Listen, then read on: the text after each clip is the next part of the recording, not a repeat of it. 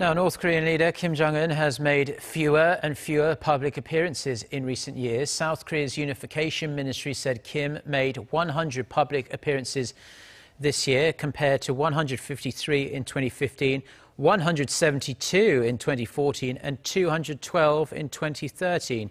Experts say that Kim has been intentionally decreasing his exposure as a way to protect himself against foreign intelligence.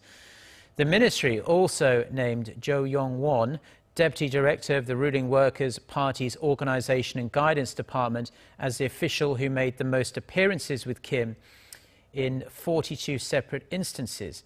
Jo surpassed Hwang Pyong-so, the Vice Chairman of the State Affairs Commission, who is widely regarded as the second most powerful figure in the regime in number of appearances with Kim.